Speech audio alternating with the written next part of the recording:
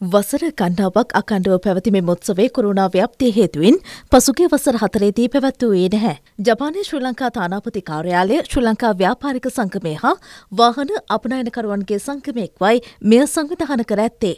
උලෙල සඳහා ජපානය ශ්‍රී ලංකා තානාපති රොඩ්නි පෙරේරා මහතා ඇතුළ පිරිසක් සහභාගයවීමට නියමිතයි. එමෙම ජපාන මැති ඇමතුරුන් කිහිප දෙනෙකුම ඊට එක් වනවා.